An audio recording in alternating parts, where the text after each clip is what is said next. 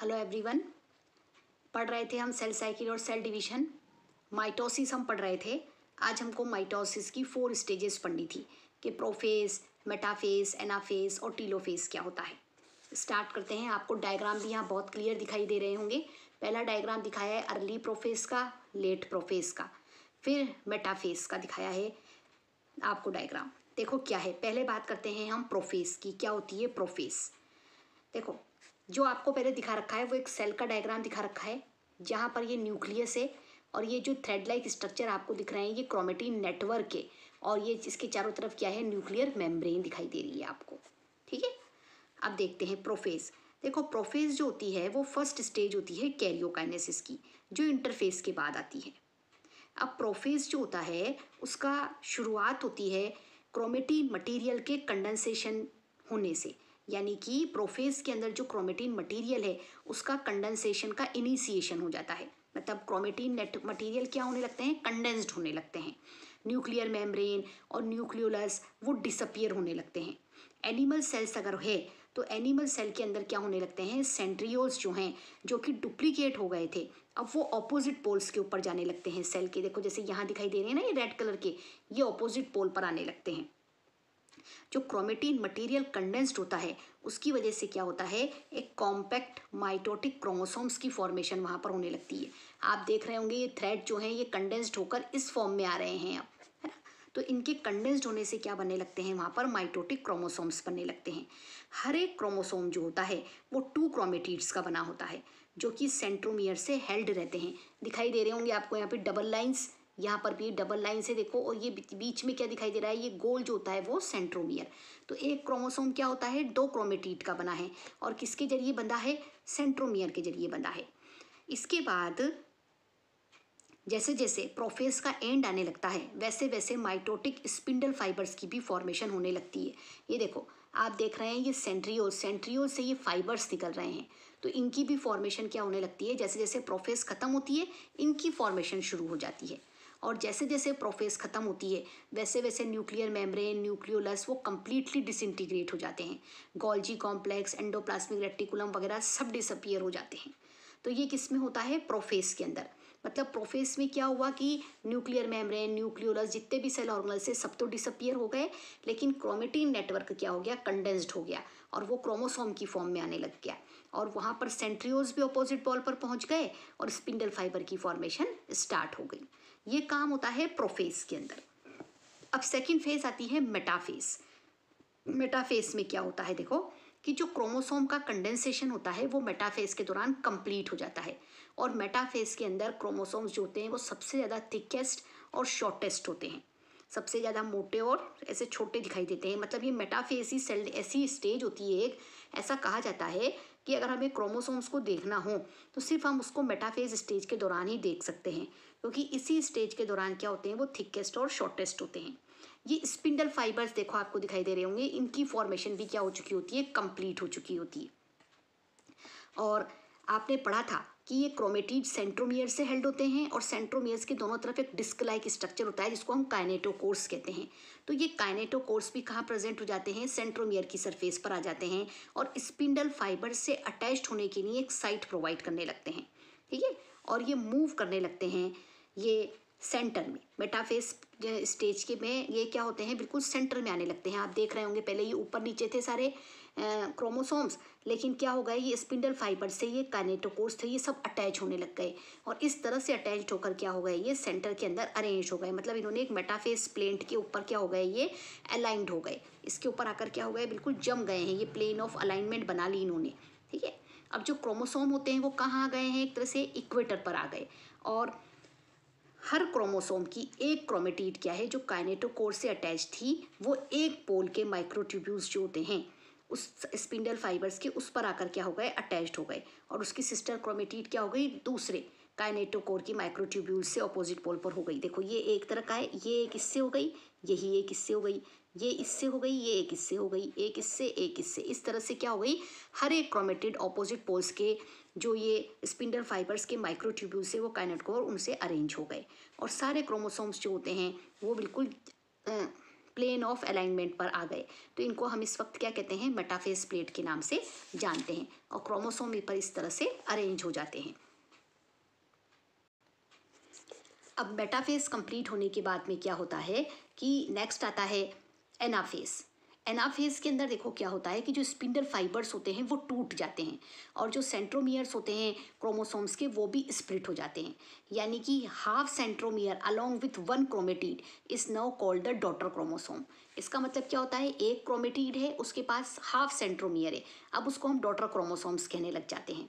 Spindle fibres भी contract हो जाते हैं और डॉटर क्रोमोसोम जो होते हैं, वो ऑपोजिट पोल्स की तरफ़ माइग्रेट करने लग जाते हैं। और इस मूवमेंट के दौरान सेंट्रोमियर जो होता है हर एक क्रोमोसोम का, वो तो पोल की तरफ़ होता है और जो क्रोमोसोम्स के आर्म होते हैं, वो इसके पीछे की तरफ़ होते हैं। देखो, जैसे कि आपको दिखाई दे रहा होगा, ये क्या हो गए? अब हाफ़ स्प्लिट हो गए, बीच में से हाफ़ स्प्लिट हो गए और ये स्पिंडल फाइबर्स भी कॉन्ट्रैक्ट हो गए। अब ये जो है, ये सेंट्रोमियर्स ये तो कहाँ दिखाई दे रहे हैं? पोल की तरफ़ और ये जो इनकी आर्म्स हैं, वो कहाँ दिखाई दे रही है? इनके पीछे यहाँ दिखाई दे रही है। यानी कि क्या हुआ? एनासोम एनाफेस के अंदर सेंट्रोमियर्स स्प्लिट हो गए और क्रोमेटिड सेपरेट हो गए और क्रोमेटिड्स कहाँ आ गए? अब ये ऑपोजिट पोल्स पर आ गए। अब क्या होगा? नेक्स्ट स्टेज आती है इनकी टीलोफेज टीलोफेज जो होती है, वो न्यूक्लियर डिवीज़न जो है माइटोसिस का, उसकी लास्ट स्टेज है। क्रोमोसोम्स क्या हो जाते हैं? अपने रिस्पेक्टिव पोस्ट पर पहुँच जाते हैं और स्पिंडल्स भी क्या हो जाते हैं? अब कंप्लीटली डिसअपियर हो जाते हैं।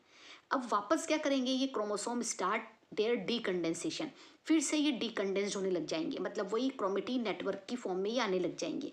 इसका मतलब क्या होंगे? ये वापस थिन और लॉन्ग हो जाएँगे।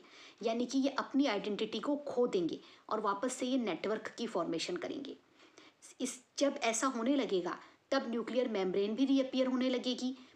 क्रोमोसोम के क्लस्टर के चारों तरफ़ न्यूक्लियोलस भी अपियर हो जाएँगे गोल्जी कॉम्प्लेक्स अपियर हो जाएँगे और एंडोप्लाज्मिक रेटिकुलम भी दोबारा से रीअपियर हो जाएँगे। सारी स्थिति वैसी आती जाएगी जैसे कि शुरुआत में थी। तो उसको हम कहते हैं टीलोफेज, देख रहे हैं आप यहाँ पर। ये जो थे, ये डी यहाँ पर तो कंडेंस्ड थे, तब ये थिक और शॉर्ट थे। यहाँ आकर क्या हो गए ये वापस से अपनी आइडेंटिटी को खो दिया इन्होंने। तो कैसे बन गए वापस से? थिन और लॉन्ग बन गए ये, है ना? इन्होंने क्रोमेटीन रेटिकुलम की फॉर्मेशन शुरू कर दी। इनके चारों तरफ़ क्या बनने लग गई? न्यूक्लियर मेम्ब्रेन बनने लग गई। बीच में सारे सेल ऑर्गनल्स रीअपियर होने लग गए। तो ऐसा होता है टीलो फेस के दौरान। तो यहाँ पर आकर क्या हो गया? अब हमारा कैरियोकाइनेसिस कंप्लीट हो गया। यानी कि चारों इवेंट जो थे वो कंप्लीट हो गए। माइटोसिस के। अब ये जब इवेंट कंप्लीट हो जाते हैं, तब सेकंड इवेंट शुरू होगा साइटोकाइनेसिस साइटोकाइनेसिस क्या है? एक ऐसा प्रोसेस है, अब साइटोप्लाज्म का डिवीज़न होगा। ठीक है? जिससे कि सेल क्या हो जाएगी? टू डॉटर सेल के अंदर डिवाइड हो जाएगी। और हर एक के अंदर क्या होगा? एक डॉटर न्यूक्लियस प्रेजेंट होगा, जो कि कैरियोकाइनेसिस के बाद में बना है। और साइटोकाइनेसिस का जो प्रोसेस है, वो एनिमल और प्लांट सेल में अलग अलग होता है। मतलब कि साइटोप्लाज्म का जो डिवीज़न है, वो प्लांट और एनिमल सेल में अलग अलग तरीके से होता है। पहले देखते हैं एनिमल सेल में कैसे होता है। देखो एनिमल सेल के अंदर क्या होता है कि सेल मेम्ब्रेन के अंदर एक फरो अपियर होने लगता है, जो शुरुआत हो जाती है जिसकी लेट एनाफेज और अर्ली टीलोफेस के दौरान ही। धीरे धीरे ये फरो डिपेंड एंड डिपेंड होता जाता है और एंड में सेंटर में आकर ज्वाइन हो जाता है। तो साइटोप्लाज्म क्या होता है? कम्प्लीटली टू कंपार्टमेंट में बढ़ जाता है। और हर एक कंपार्टमेंट के अंदर एक डॉटर न्यूक्लियस प्रेजेंट होता है। तो अब उसको हम क्या कहने लगते हैं? डॉटर सेल कहने लगते हैं। देखो, आप देख रहे होंगे, ये एक सेल थी। अब ये एनिमल सेल है लेटेस्ट कंसीडर तो ये इसकी क्या हो गई? सेल मेम्ब्रेन हो गई। इस सेल मेम्ब्रेन में देखो, ये एक फरो बनने लग गया। अब ये धीरे धीरे धीरे धीरे इधर अंदर अंदर अंदर बढ़ता जाएगा। ऐसे ऐसे ऐसे, अंदर अंदर अंदर।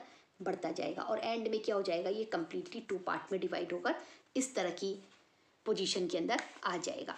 समझ गए? यानी कि कहने का मतलब कि जो साइटोकाइनेसिस होता है एनिमल सेल में, वो कहाँ से शुरू हुआ? वो पेरीफ्री से शुरू हुआ और सेंटर की तरफ़ गया, है ना? और सेंटर की तरफ़ आकर उन्होंने क्या किया? इस सेल को टू डॉटर सेल्स के अंदर क्या कर दिया? डिवाइड कर दिया। ठीक है? जबकि प्लांट सेल के अंदर क्या होता है? देखो साइटोकाइनेसिस जो होता है, वो स्टार्ट होता है जब एक प्रिकर्सर की फॉर्मेशन होती है, जिसको कि हम सेल प्लेट कहते हैं, है ना? एक्चुअली क्या होती है ये सेल प्लेट मिडिल लेविला मिडिल लेमिला ही होती है, जो कि सेल वॉल जो होती है टू एडजेसेंट सेल्स की, उसके बीच के अंदर बनती है। और धीरे धीरे क्या होती है, ये सेंटर से लेटरल वॉल्स की तरफ़ बढ़ती है और सेल को टू हाफ्स में डिवाइड कर देती है। और हर एक सेल में क्या होता है, हर एक डॉटर सेल में एक डॉटर न्यूक्लियस होता है। साइटोकाइनेसिस के दौरान जो सेल ऑर्गेनल्स होते हैं माइटोकॉन्ड्रिया प्लास्टिड्स वगैरह, ये भी डॉटर सेल्स के अंदर क्या होते हैं डिस्ट्रीब्यूट हो जाते हैं। और अगर कैरियोकाइनेसिस के बाद साइटोकाइनेसिस नहीं हो तो फिर एक मल्टी न्यूक्लियट कंडीशन बन जाती है, जिसको हम सिंसाइटियम के नाम से जानते हैं। ठीक है? तो मतलब प्लांट सेल में क्या हुआ? एनिमल सेल में तो किनारों से शुरुआत होकर सेंटर में आई, जबकि प्लांट सेल में क्या हुआ? पहले ही बीच में जैसे ये एक सेल प्लेट बन गई। और ये फिर क्या हुई? इन किनारों की तरफ़ लेटरल वॉल्स की तरफ़ बढ़ी और इस तरह से इन्होंने इस सेल को टू पार्ट्स में डिवाइड किया। वहाँ पर लेटरली शुरू होकर सेंटर में आई, यहाँ पर सेंटर से शुरू होकर लेटरली चली गई और टू पार्ट्स में क्या हो गई? सेल बट गई। तो इस तरह से एक सेल से एंड में क्या बन गई? टू डॉटर सेल्स की फॉर्मेशन हो गई। इस प्रोसेस को हम क्या कहते हैं? माइटोसिस कहते हैं। अब माइटोसिस की सिग्निफिकेंस क्या होती है? क्या फ़ायदे हैं? देखो इसके। कि मल्टी सेलुलर ऑर्गेनिस्ट जो होते हैं, उनके अंदर बॉडी ग्रोथ जो होती है, वो माइटोटिक डिवीज़न ऑफ़ सेल के ज़रिए ही होती है। जानते हैं तो आप सेल का जब इंक्रीमेंट होता है जायगोट एक सिंगल सेल होती है, लेकिन जब उसके अंदर माइटोटिक डिवीज़न होते हैं तो सेल के अंदर नंबर बढ़ने लगते हैं और पूरा जायगोट जो होता है, एक फीटस के अंदर धीरे धीरे कन्वर्ट होने लगता है। ठीक है नेक्स्ट जो रिप्लेसमेंट होता है वॉर्न आउट टिश्यूज़ का सेल्स का, जैसे ब्लड सेल हो स्किन सेल हो, या तो इंजर्ड टिश्यूज़ जो होते हैं, उनकी रिपेयरमेंट जो होती है, वो सब भी किसके ज़रिए होती है? माइटोसिस के ज़रिए होती है। यूनिसेलुलर ऑर्गेनिस्ट जो होते हैं, उनके अंदर माइटोसिस असेक्शुअल रिप्रोडक्शन के अंदर भी इन्वॉल्व होता है। ठीक है? और प्लांट्स जो होते हैं, उनके अंदर वेजिटेटिव प्रोपोगेशन जो होता है, उसके अंदर केवल माइटोटिक डिविजन ही इन्वॉल्व होते हैं। और जनरली आइडेंटिकल इंडिविजुअल्स की फॉर्मेशन होती है। और जो अनकंट्रोल सेल डिविजन्स होते हैं, कुछ टिश्यूज़ और ऑर्गन्स के अंदर, जिससे कि ट्यूमर्स की फॉर्मेशन होती है, वो भी माइटोसिस के ज़रिए ही होती है। तो ये फाइव इंपॉर्टेंस थी माइटोसिस की, ठीक है? तो ये कंप्लीट हुआ आपका सेल डिवीज़न सेल साइकिल हम पढ़ रहे हैं, उसमें माइटोसिस कंप्लीट के माइटोसिस क्या होता है? माइटोसिस इक्वेशनल डिवीज़न होते हैं, जहाँ नंबर ऑफ़ क्रोमोसोम सेम रहते हैं, लेकिन number of daughter cells increase होती है। उसके अंदर कैरियोकाइनेसिस साइटोकाइनेसिस देखा कैरियोकाइनेसिस था, न्यूक्लियस का डिवीज़न, साइटोकाइनेसिस होता है साइटोप्लाज्म का डिवीज़न। कैरियोकाइनेसिस के अंदर चार स्टेजेस पड़ी मेटाफेस प्रोफेस मेटाफेस एनाफेस और टीलोफेस उसके बाद साइटोकाइनेसिस जो एनिमल और प्लांट सेल में अलग अलग था और सिग्निफिकेंस ऑफ़ माइटोसिस। आज इतना हो गया, अब नेक्स्ट क्लास में हम मियोसिस पढ़ेंगे।